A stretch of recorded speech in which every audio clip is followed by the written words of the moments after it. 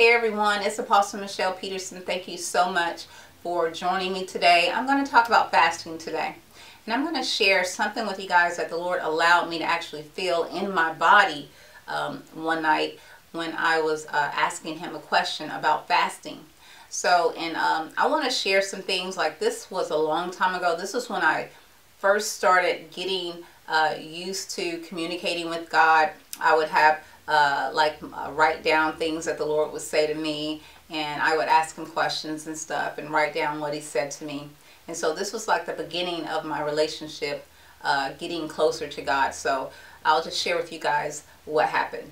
Okay, so one night I was just hanging out with the Lord and I just wanted to know like a secret thing or just something, just something um, from the Lord. And so I asked him a question. I said, um, Lord, can you reveal a secret to me or just something that not a lot of people know?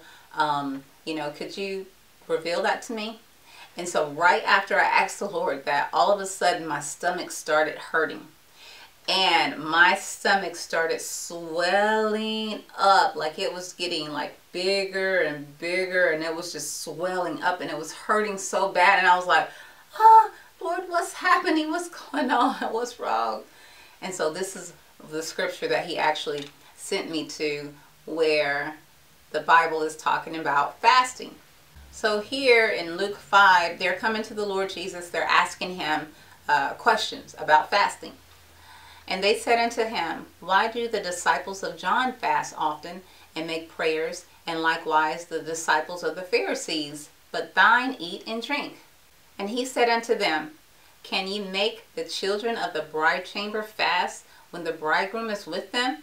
But the days will come when the bridegroom shall be taken away from them, and then they shall fast in those days. And he spake also a parable unto them. No man putteth a piece of a new garment upon an old. If otherwise, then both the new maketh a rent, and the piece that was taken out of the new agreeth not with the old. And no man putteth new wine into old bottles, else the new wine will burst the bottles and be spilled, and the bottles shall perish. But new wine must be put into new bottles, and both are preserved. No man also having drunk old wine straightway desireth new, for he saith, the old is better. Okay, so this is really, really cool. When I had went back to read this, when the Lord um actually uh, allowed me to experience that in my body, I went to read this. And when you go into study Bibles, if you read study Bibles, then they break down what this scripture or what this is talking about. They're all talking about, you know, the old covenant. The old covenant is the old wine skins, and the new covenant is the new wine. That's why you can't put new wine into old wine skins. That's what the study Bibles will say this means. But this is what the Lord said. The Lord said it doesn't mean that. This is talking about fasting, not the old covenant or the new covenant. It doesn't have anything to do with that. It's talking about fasting. Okay, I'll tell you guys what the Lord actually told me about this. This is talking about fasting and the reason why the disciples was not fasting with the Lord Jesus being with them because the Lord was already with them. They didn't need to fast. The reason why we fast is for the Lord to come and fill us up. If the Lord is already in you filling you up, you don't need to fast. Now the purpose of fasting is to uh, for the Lord to come and fill you up basically. That is the purpose of fasting. So if the Lord is already with you, you don't need to fast. The Lord did say here that there will be a time when he will not be with them anymore and that is the time when they will fast. But as long as he's with them, they don't need to fast. So now fasting, uh, the purpose of fasting, like I said, is so that the Lord can come in and fill us up. And we have to clean everything out for him to come in. And this is the cool thing that he actually told me about. The reason why we have to clean everything out is because demonic spirits thrive. Now this is his words. Demonic spirits thrive in feces. Like the, the stuff that's in our intestines and our colon, the poop and feces Demonic spirits thrive in that. They thrive in that. That's filth. That's nasty. God doesn't, that's unclean. So we have to get all of that stuff out. That's what fasting does. I mean, you can fast. I mean, they, you know, they have the different fasts where you can fast, you know, sweets, but you're still eating meat. You're still eating all of that stuff. You're not going to get God to come in and fill you up because you still have feast. You have, you know, defilement inside of your body. You have to clean, purify, and clean all of that out to really get filled up with God. Okay? And so another cool thing the Lord also told me that's really good for us to do is to do like some type of natural laxative. A natural laxative will flush all that poop and all of that nasty stuff out of your body. It will keep you more cleaner and you'll be able to feel God's presence um, more. You'll be able to feel because he can just come in and fill you up more. Like even if it's a little bit in there, you'll still be able to feel his presence more. But if you can clean that out, he will be able to come in and fill you up. Okay. Um, so that's why, you know, um, the Lord Jesus, you know, he went out and he, he fasted. And when he came back, he came out of his fast, he was filled with the power of the Holy Spirit. Like he was filled with power completely. He went on a 40 day fast, total night and day. You know, no food whatsoever. And so when he came out, he was totally filled up with God's Spirit, walking in the power of the Holy Ghost. And that's when his ministry started. So this is a tip for you guys.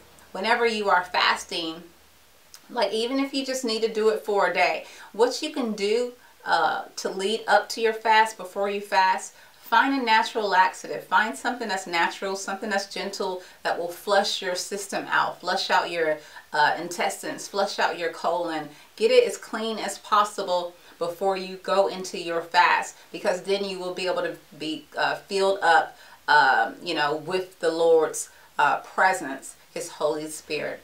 Okay, so um, something else I do want to share with you guys about my diet. The Lord's actually given me a diet, and um, you know that actually helps my body stay more cleaner. Um, you know, whenever I'm sticking to the diet. But I'll share that with you guys in the next video, okay? So I hope you guys enjoy that. Like I said, uh, if you're going to start a fast, do a little, you know, um, natural type of cleanse. Cleanse your body out really, really good. Uh, and try to, you know, um, keep food out of your body. Drink a lot of water. If you're going to do a fast, that's the best fast to do, a water fast. Um, and because that will let your body take a break to flush out all of that poop and all of those feces and get those demonic spirits out of there. And something else, if you guys are struggling with being attacked by demonic spirits, maybe it's like a really serious stronghold or something. Also, like what uh, the Lord Jesus talks about is that some things cannot come out, um, um, but only by fasting and praying. So the thing about like when God's presence, let's say if you do a fast and you uh, do uh, a natural laxative, you get all the feces, everything, because like I said, the Lord actually told me that demonic spirits thrive in feces. So when we have all of this stuff inside of our intestines and our colon, demons are thriving in that type of stuff. That's why we need to get it clean out, you know. Um, so, you know, and if you have demonic spirits that are totally attacking your body, maybe in those type of areas or in your body, and fasting and praying is the only thing that can get it out because you got to clean all of that stuff out where they're thriving in so God can totally come in and totally fill you up and remove that sickness, remove those demons because he's totally filled you up. You don't have anything, you know, nasty in there. You got all that stuff out. And so he can totally come in and fill you up and everything else will be removed. So that's what that's talking about, fasting and praying. Some things you got to fast and pray because those demonic spirits are living inside of your poop you know, your your your insides is it's got a lot of feces in it. You just need to clean it out because that stuff defiles us. But okay, so all right. So like I said, if you guys want to uh, start applying this to uh, your fasting, um, you know, uh, uh, start out with the light cleanse and then fast. Like I said, water is the best type of fast. Okay, uh, when you're doing a fast, so you flush out everything so there's nothing left in there. Whether it's one day two days, three days um, on your fast, or however long you want to do it. Um, but uh, and also seek the Lord what kind of fast He wants you to do because we want to do the fast that He wants us to do.